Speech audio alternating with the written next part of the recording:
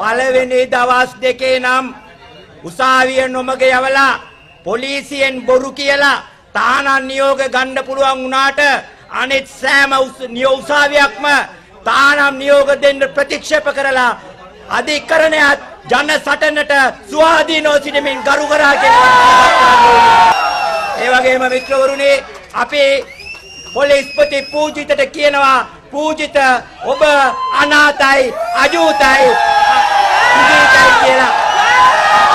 පොලිස්පතිතුමාට කියන්නේ මේ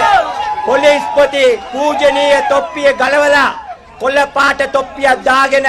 සිරිකත security service එකේ ලොක්කා වෙන්න කියලයි. ඒ නිසා අපි දන්නවා පොලිස්පතිතුමා මේ දවස් දෙකේ එක්සත් ජාතික පක්ෂයට කරපු සේවයට ලබන පාර ඡන්දෙ ඉල්ලුවොත් රනිල්ට වඩා UMP කාර්යයන්ගෙන් මනාප ගන්න පුළුවන් තත්ත්වයක් දැනටම මේ කුජීත පූජිත හදාගෙන ඉවරයි විතරයි